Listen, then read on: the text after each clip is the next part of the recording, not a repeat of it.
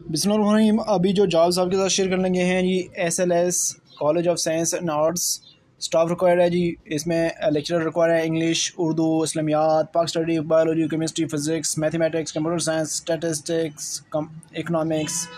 science attendant और GP male female और librarian के लिए जॉब्स रिक्वायर्ड हैं जी। और इसमें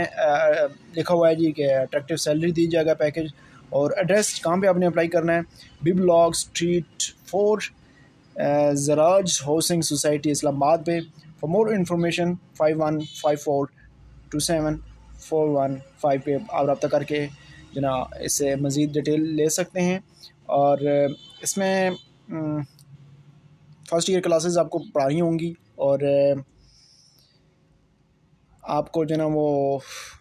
पैकेज क्या दिया जाएगा ये वहाँ पे आप विज़िट करेंगे तो ही पता चलेगा तो ये था जी हमारा आज का एट